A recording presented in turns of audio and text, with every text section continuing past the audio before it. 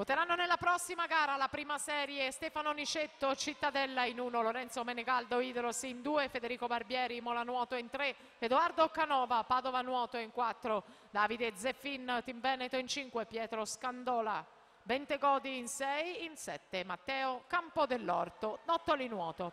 Ricordiamo che al termine dei 50 farfalla avremo tutte le premiazioni dai 50 rana femminili ai 100 rana maschili ai 100 farfalla femminili e poi 50 farfalla maschili.